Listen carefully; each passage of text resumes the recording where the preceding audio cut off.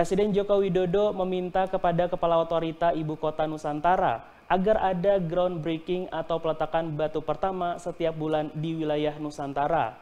Jokowi berharap dengan kebijakan ini akan mendorong percepatan pembangunan IKN Nusantara. Presiden Joko Widodo meminta kepada Kepala Otorita Ibu Kota Nusantara agar ada groundbreaking atau peletakan batu pertama setiap bulan di wilayah Nusantara.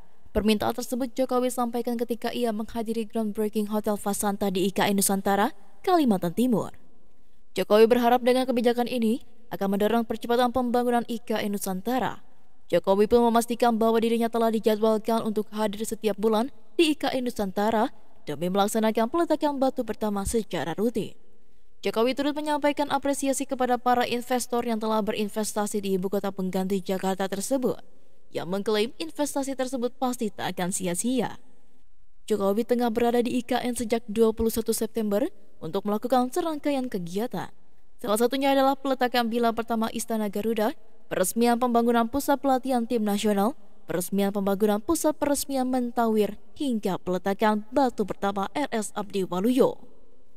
Percepatan pembangunan ini juga bersamaan dengan pengucuran dana sebesar 20 triliun rupiah dari pengusaha-pengusaha Indonesia. Kesepuluh taipan itu adalah konsorsium Nusantara pimpinan Bos Agung Sedayo Group, Sugianto Kusuma alias Aguan. Salah satu buah investasi mereka yang sudah diresmikan Jokowi adalah Hotel Nusantara IKN. Selain Aguan, ada Salim Group, Sinarmas Group, Barito Pacific, Mulia Group, Pulau Intan, Adaro, Kawan Lama Group, serta Alfamart Group.